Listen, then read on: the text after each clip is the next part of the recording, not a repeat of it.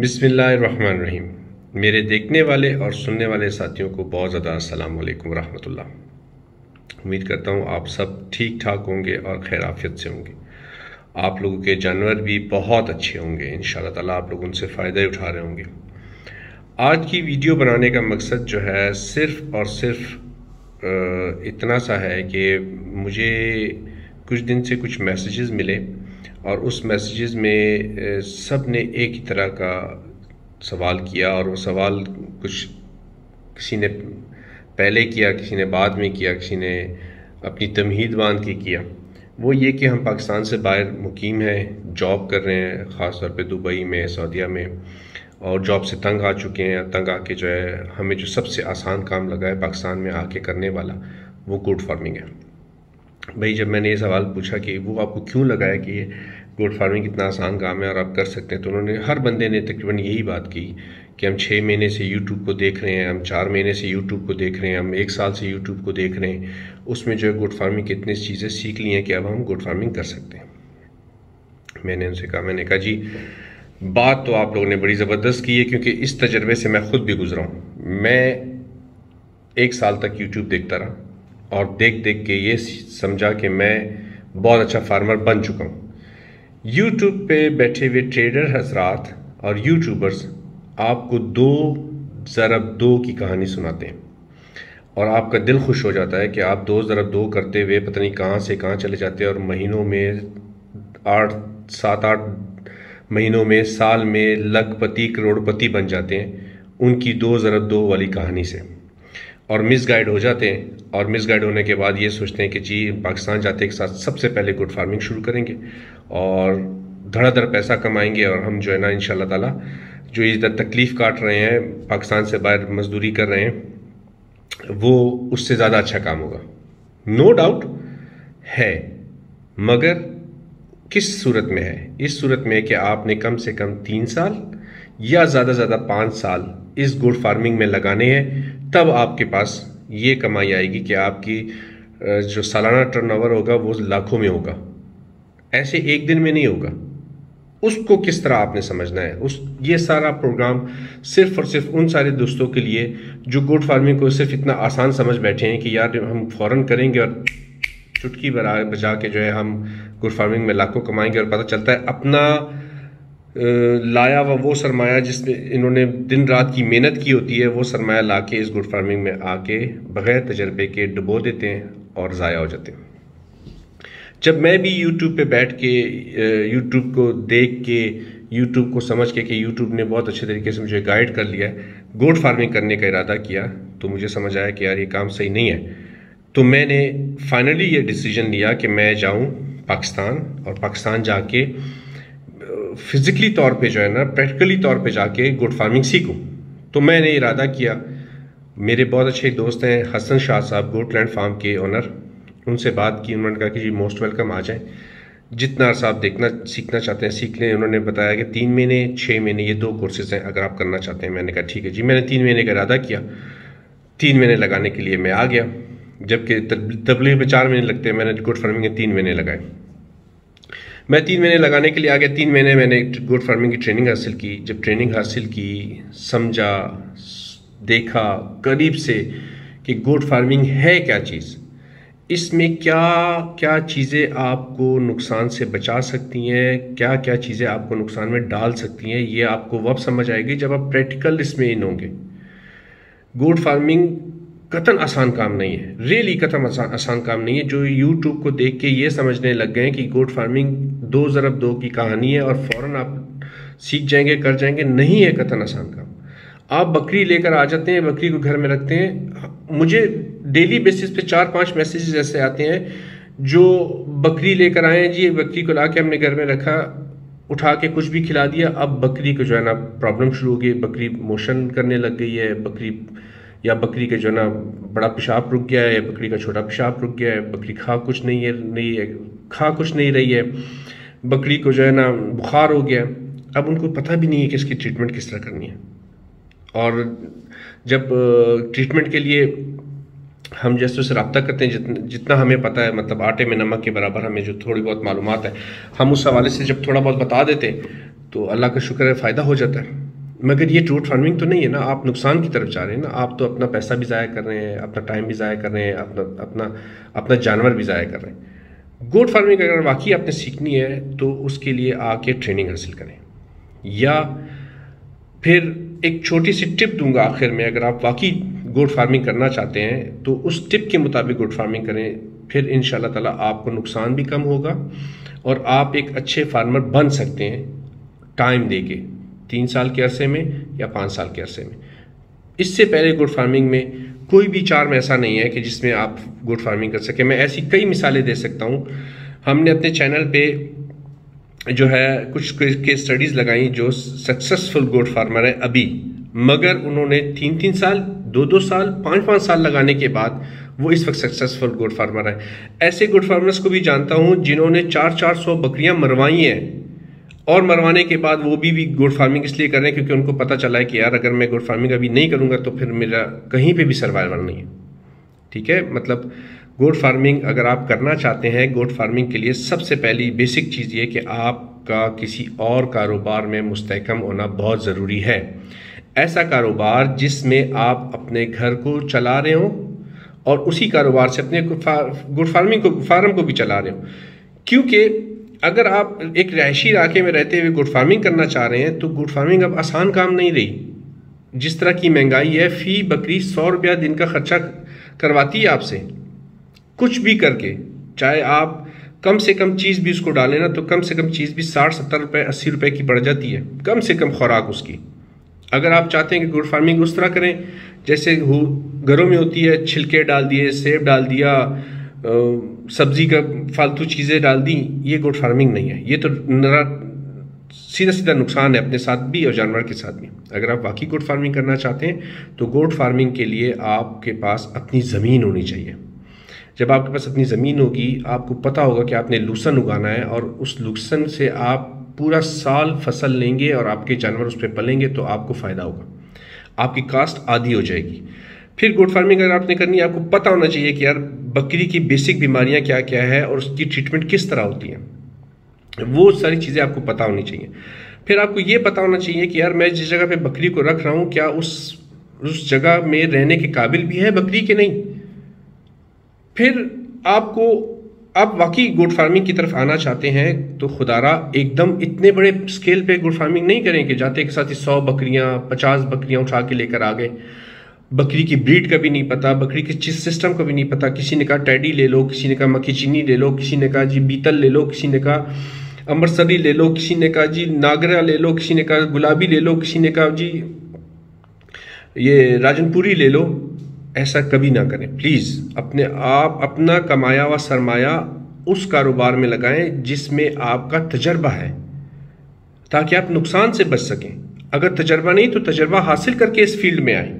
फिर आप नुकसान से बचेंगे, फिर आप दिल बर्दाश्ता नहीं होंगे और आप लोगों के सामने मिसाल होंगे और लोग आपकी मिसाल देंगे कि यार फलाना बंदा इस वक्त बहुत अच्छी गुड फ़ार्मिंग कर रहा है। आओ उसका फार्म विज़िट करें। फिर आप वाकई लाखों कमा सकते हैं।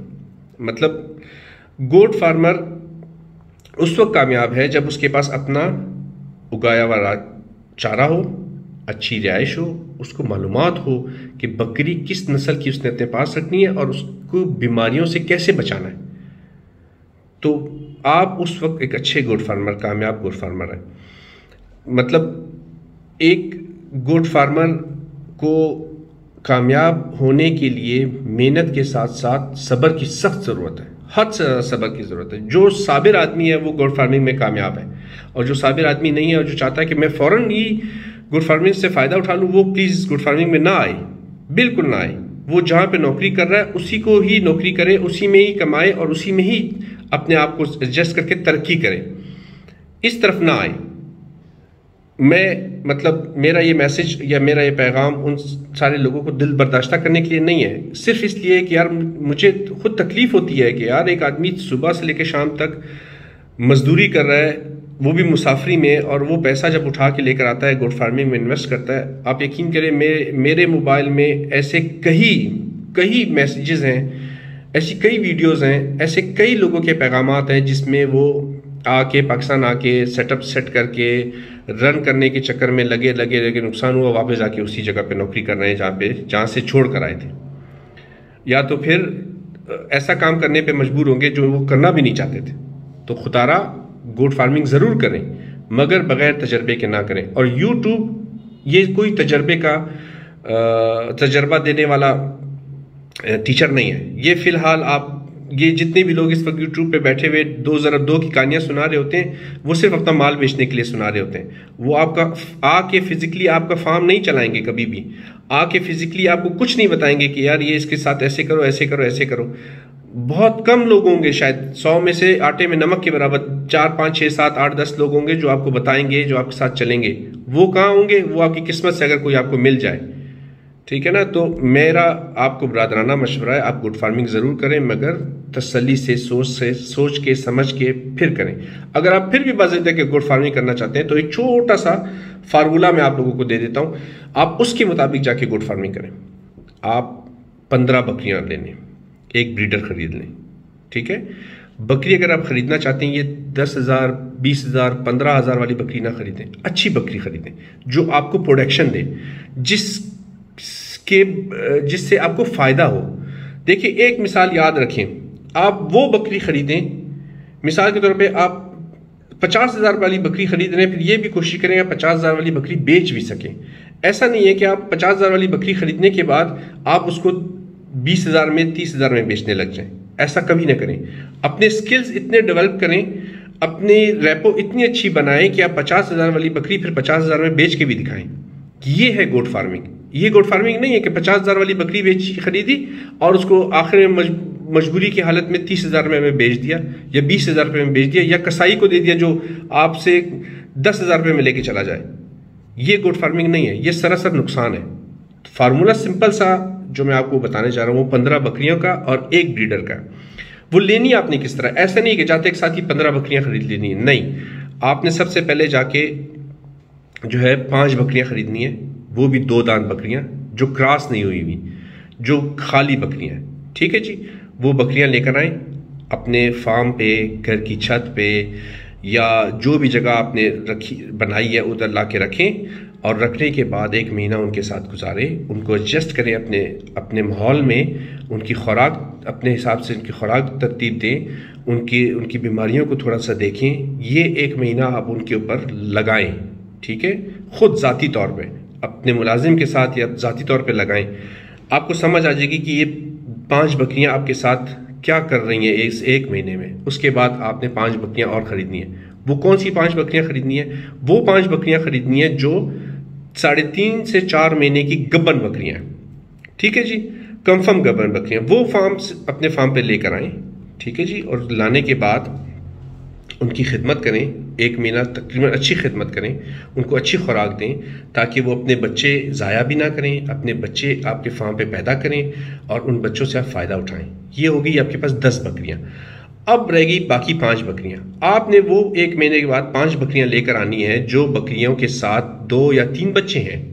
ठीक है जी, वो अपने फार्म पे लेकर आना। अब देखिए स्टेप क्या बना। एक स्टेप आपके पास खाली बकरियों का, दो, जो दो दांत से चार दांत की तरफ़ जा रही हैं। एक स्टेप आपके पास बन गया वो बकरियाँ जिन्होंने अभी आपके फार्म पे बच्चे देने हैं। ठीक है जी? तीसरा स्टेप वो बन गया जो बकरियों के साथ ऑलरेडी बच्चे हैं। आपको ये तीनों चीज़ें समझ आ जाएँगी कि आप जो हैं, आप बकरियों को कैसे संभालेंगे? तीनों तरह की बकरियों को कैसे संभालेंगे?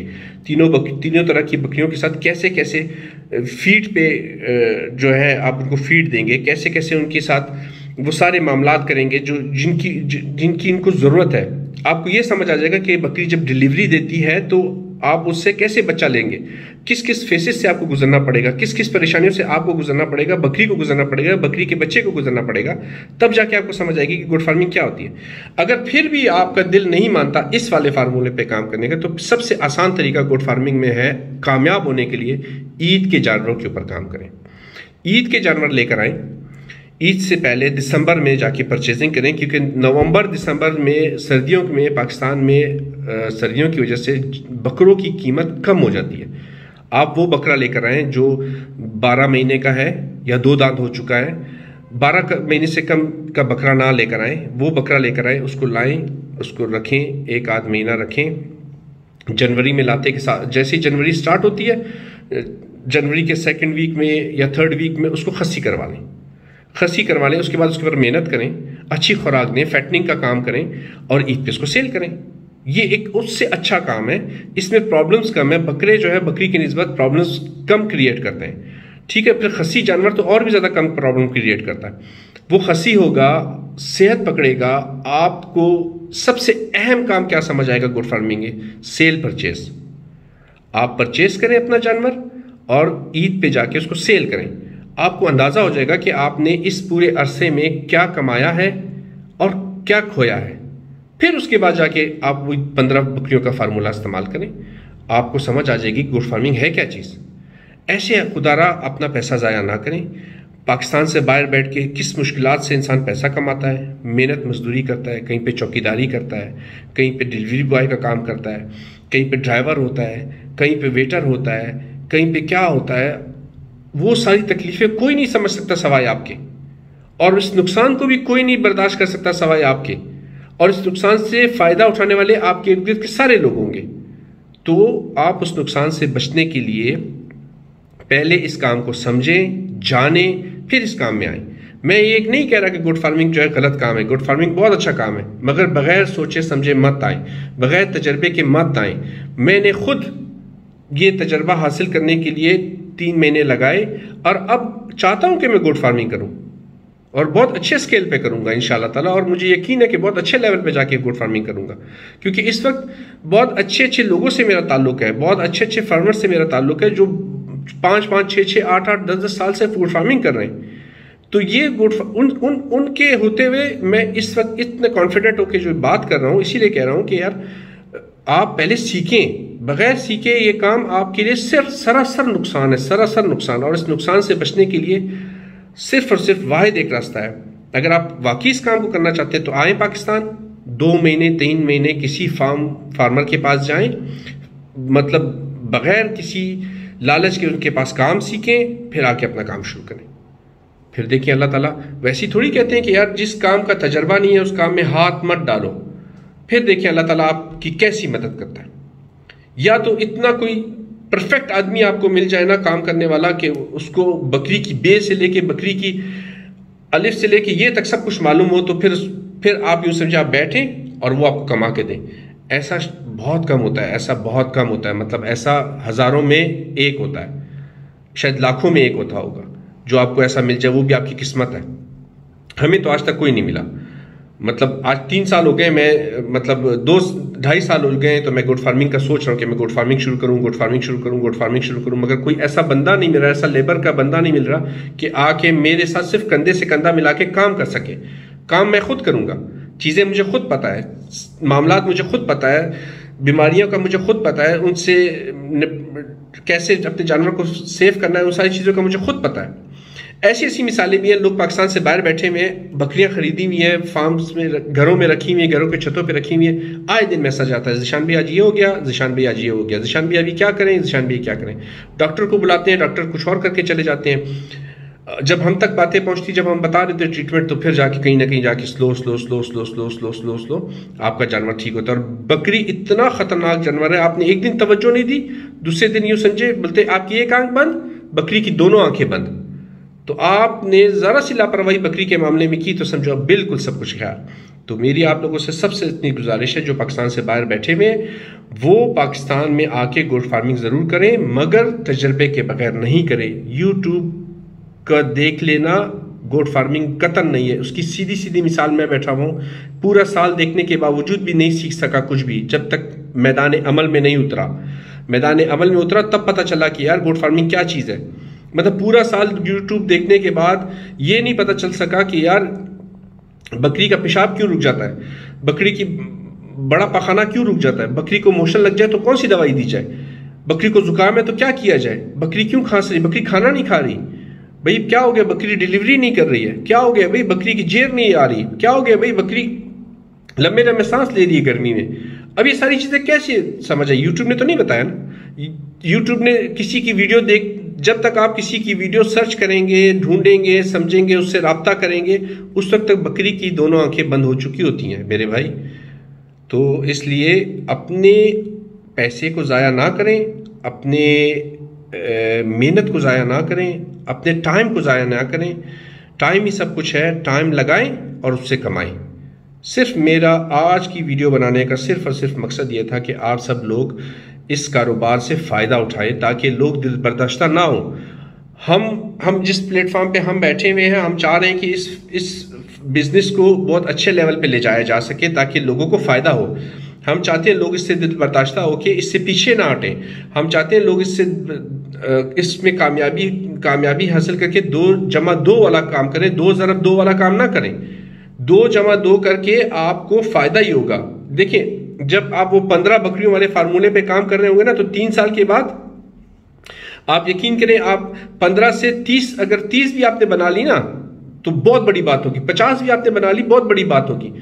मतलब ये बहुत बड़ा मतलब एक ऐसा साइकिल आपका चल जाएगा तीन साल के अंदर अंदर कि आप मुकम्मल तौर पे कामयाब फार्मर बन जाएँगे। तो आप अपने इस, इस पैसे को ज़ाया ना करें इस सिस्टम को ज़ाया ना करें मायूस ना हो इस किसी भी चीज़ से। मगर तजर्बे के बगैर कोई भी काम ना करें। मेरी इस वीडियो का सिर्फ़ और सिर्फ़ मकसद ये है कि आप बगैर तजर्बे के कोई भी काम ना करें। जो भी काम आपने करना है, उसमें तजर्बा हासिल करके करें। बेशक वह एक दिन का क्यों ना हो, मगर मैदान अमल का तजर्बा हो, ना कि यूट्यूब का तजर्बा हो, ना कि सुनी सुनाई बातों का तजर्बा हो। ऐसे भी लोग हैं जिनको इंजेक्शन लगाने नहीं आता। ऐसे भी लोग हैं जिनको ये नहीं पता कि बकरी का टेम्परेचर चेक कैसे किया जाता है। तो फिर आप गुड फ़ार्मिंग कैसे करेंगे यार? से यार अच्छी खासी नौकरी छोड़कर आके आज कल के हालात में लाख लाख रुपए वाली नौकरी छोड़ के आके, पाकिस्तान में बैठ के बकरी पाल के कैसे फिर आप करेंगे जबकि आपको किसी चीज़ का पता भी नहीं है? तो चीज़ों का पता चले और कामयाबी से करें। वो आदमी तो हद ज़्यादा कामयाब है जिसके पास अपनी ज़मीन है, वो चारा उगा सकता है और जानवरों को खिला सकता है, वो हद से ज़्यादा कामयाब है। हद से ज़्यादा कामयाब है गुड फ़ार्मिंग में, क्योंकि पास उसके उसके पास जो डेली का खर्चा है वो आधा हो जाता है। तो इसलिए हिम्मत करके गुड फ़ार्मिंग ज़रूर करें, मगर गुड फ़ार्मिंग को फ़ायदे के लिए करें, ना कि अपने नुकसान के लिए करें। इन दुआओं, इन सारी नेक दुआओं के साथ कि अल्लाह ताला आप सबको कामयाब करे, कामरान करे जो जो मेरा ये प्रोग्राम देख रहा है पाकिस्तान से बाहर और आके पाकिस्तान में गुड फ़ार्मिंग करना चाहता है, अल्लाह ताला उन सबको कामयाब करे। मैं अपना नंबर इसमें दे दूँगा। अगर फिर भी कोई चीज़ आप लोगों को नहीं समझ आ रही है, मुझसे रब्ता करें। वॉइस मैसेज में मैं, जितना मुझे मालूम होगा, मैं बिल्कुल बताऊँगा। हर तरह की हेल्प के लिए तैयार हूँ। हर तरह की हेल्प के लिए तैयार हूँ। अल्लाह ताला आप सबको कामयाब करे, कामरान करें। इस दुआओं के साथ आप अपना और अपने जानवरों का और अपने साथ रहने वाले सारे लोगों का बहुत ज़्यादा ख्याल रखेंगे। वालेकुम।